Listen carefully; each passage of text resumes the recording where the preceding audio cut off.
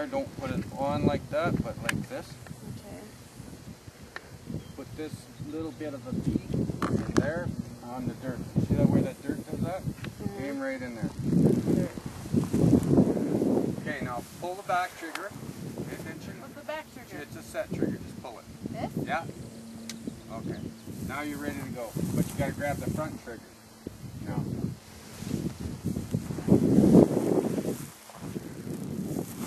Holy fuck! Hey, language! Did you get it? I don't know.